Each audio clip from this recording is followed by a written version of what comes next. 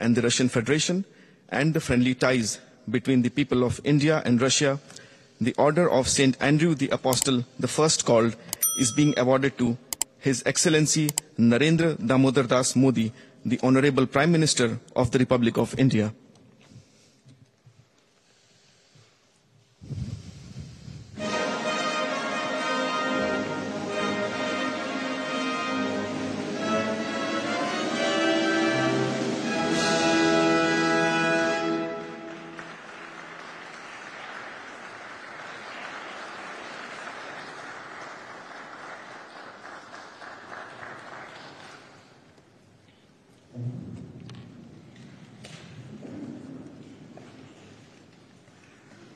Your excellency और मेरे मित्र राष्ट्रपति पुतिन, रूस के सर्वोच्च अवार्ड से सम्मानित करने के लिए मैं हृदय से आपका आभार व्यक्त करता हूँ।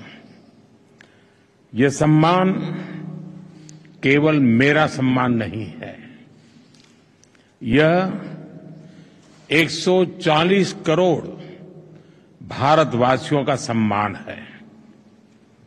यह भारत और रूस की सदियों पुरानी गहरी मित्रता और आपसी विश्वास का सम्मान है। यह हमारी special and privilege strategic partnership का सम्मान है।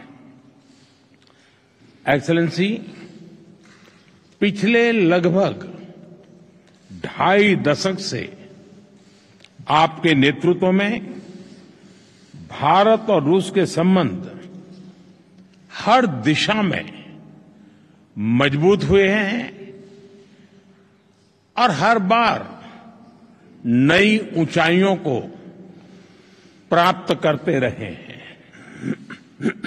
आपने दोनों देशों के बीच जिन स्ट्रेटेजिक संबंधों की नींव रखी थी, वो गुजरते समय के साथ और मज़बूत होकर निखरी है। पीपल टू पीपल पार्टनरशिप पर आधारित हमारा पारस्परिक सहयोग हमारे लोगों के बेहतर भविष्य की उम्मीद भी बन रहा है, गारंटी भी बन रहा है। आज की चर्चाओं में भी हमने सभी क्षेत्रों में आपसी सहयोग को मज़बूत करने के लिए नए और महत्वपूर्ण निर्णय लिए हैं।